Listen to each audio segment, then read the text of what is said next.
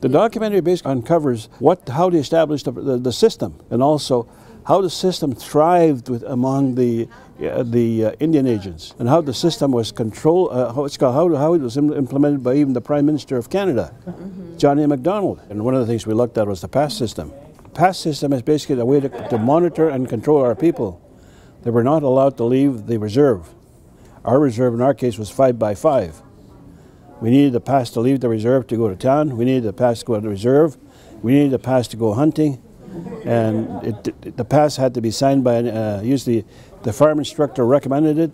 It had to be signed by the Indian agent. The system of passes, even though it was an illegal system, there was no legal uh, foundation for the decision to have this system in place. It continued on for many, many years. Indian people back in the day when they signed treaty, they knew that there was a changing economy and they knew that they wanted to participate differently. They had to participate differently in that economy. So they were very strategic. They asked for education, they asked for medicine chest, and they asked for farm instruction.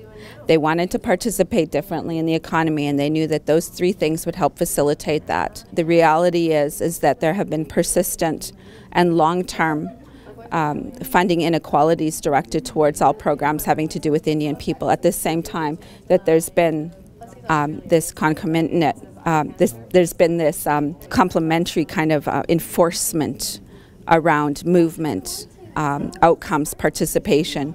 Um, so it, we still live with the effects. It's very, very problematic.